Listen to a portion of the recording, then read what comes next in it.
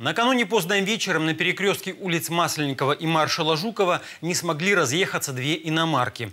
ДТП, которое в соцсетях хомячи назвали страшным, произошло около 22 часов.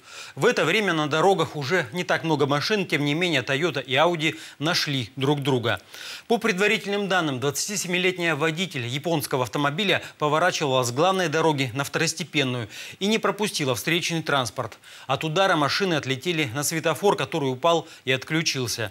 У обоих иномарок моторные отсеки полностью разбиты. Виновницу аварии зажало в салоне. Ее извлекали сотрудники МЧС. Девушку доставили в больницу.